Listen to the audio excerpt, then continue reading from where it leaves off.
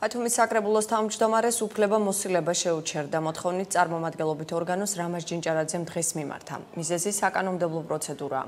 ჯინჭარაძე უმაღლესი საბჭოს დეპუტატობის კანდიდატია. მის მოვალეობას ხვალიდან ბათუმის საკრებულოში ირაკლი თავდგირიძე შეასრულებს. ეს ამ უკანასკნელმა მანდატი გახარიას პარტიით მოიპოვა, შემდგომ კი პარტიას გამოეყო და დამოუკიდებელი დეპუტატის სტატუსით განაგრძო საქმიანობა. ცნობისთვის არჩევნებში ვერ გამარჯვების შემთხვევაში ჯინჭარაძე საკრებულოს რიგით წევრად მეტად გააგრძელებს მუშაობას.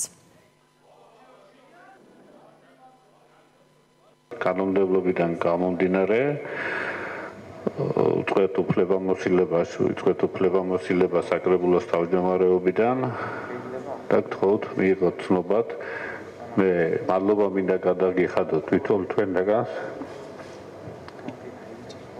მე ძალიან დიდი გამოცდილება მივიღე და თქვენ ხართ ის ადამიანები რომლებსაც ძალიან გიყვართ ჩვენი ქალაქი ჩვენთვის ცნობილია და ჩვენთვისაც ჩვენი ქალაქის მოთხოვნები, პოტენციალი ჩვენი ქალაქის და მე დარწმუნებული ვარ, რომ ჩემი ქალაქი, ჩვენი ბათუმი და რეგიონი თავის სიტყვას სიტყვის ყოველთვის